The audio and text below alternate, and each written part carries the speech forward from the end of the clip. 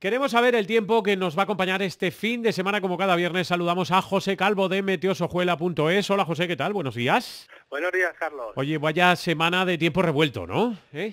Sí, sí, la verdad es que está muy primaveral. Tampoco es raro que en un mes de mayo, que suele ser un mes de transición entre el invierno y el verano, pues suceda esto. Hay meses de mayo que nieva y otros que nos asamos de calor. Bueno, que esta va a ser la tónica del fin de semana, cielos cubiertos, lluvias, fresquito, ¿bajan las temperaturas o qué? Cuéntame.